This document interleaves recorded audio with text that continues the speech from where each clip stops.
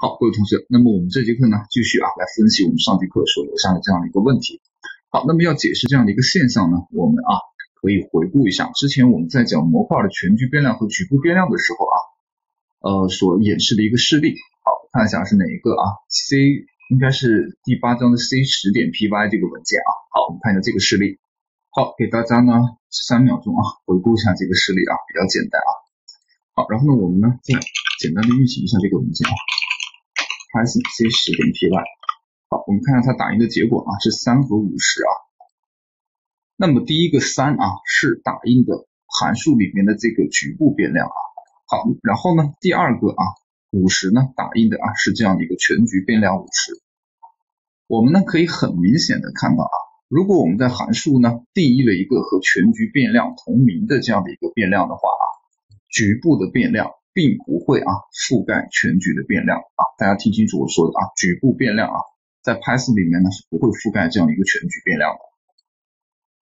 好，我们更加具体的来解释一下啊。首先呢，我们定义了一个变量，然后它的值呢等于五十。好，然后呢，我们在函数的内部啊又定义了一个同名的变量，但是这个 C 啊和外面的这个 C 呢不是同一个变量啊。好，所以说呢，呃，这个局部变量的作用域呢仅仅呢是局限在这个函数的内部啊。所以说呢，我们在这个函数的内部打印这个 C 呢，就是啊，我们 x 加 y 的结果啊。但是呢，一旦啊，呃，一旦我们的代码运行出了这样的一个，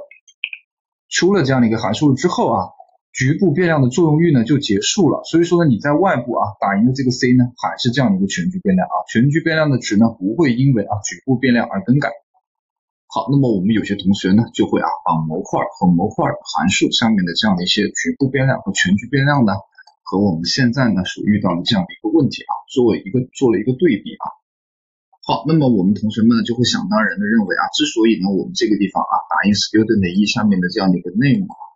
它的值是这样的一个空字不串，而不是我们啊设定的这个实感当的原因在于啊，是因为这个地方是一个局部变量啊，它呢不它呢是不会改变全局变量的值的，正如我们刚刚呢在 C 十这里啊看到的这样的一个结果一样啊。好，那么如果呢你也是这样的一个理解的话呢，那么这个就错了啊。我们绝对不能够啊把模块下面的全局变量啊和模块函数下面的局部变量啊等同于啊我们类里面啊这里的变量和这里的变量啊。类的机制呢和模块啊和模块的全局变量和局部变量的机制呢是完全不一样的啊。这一点呢是希望大家要知道的。而且呢，如果呢你呢是一个有其他语言的编程经验的开发者呢。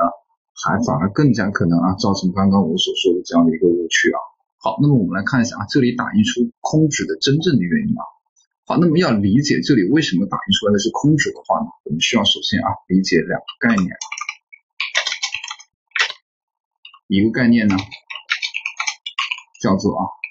类变量，好，另外一个概念呢叫做啊实例变量。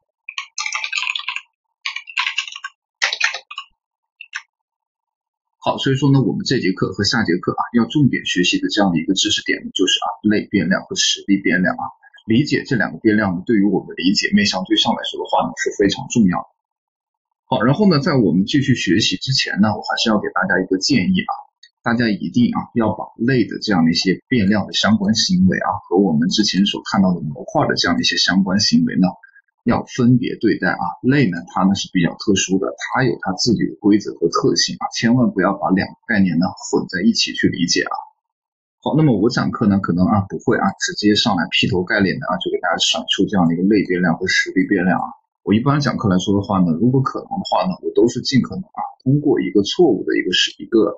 呃一个误区啊，或者是说呢通过一个事例呢来引出这样的一些概念啊，这样的话呢更加便于大家来理解和记忆啊。好，那么啊，我还是希望大家呢，嗯，再进一步的去思考一下，特别是对于那些有编程经验的同学来说的话呢，再去思考一下啊，为什么这里啊，类变量和实例变量的区别导导致啊，我们这里呢打印的是这样一个空字符串啊，再进一步的去分析一下。上节课呢，我没有给大家说是类变量和实例变量它们的区别引起了这样的一个空字符串的出现啊，这节课呢，我进一步的提示了。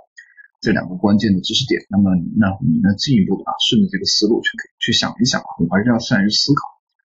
去想一想这个问题的最终的原因到底是什么。好，同学们，那么我们本节课的内容呢，就先讲到这里，我们下节课再见。